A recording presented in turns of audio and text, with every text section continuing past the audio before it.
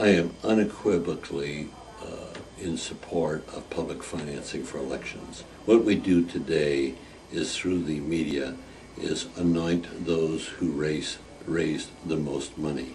What we're saying is, because we all know that money is the corrupting influence in politics, and so what we're saying is those who raise the most money are the ones most likely to become the leaders of our country, but they're also the ones that are most corrupt.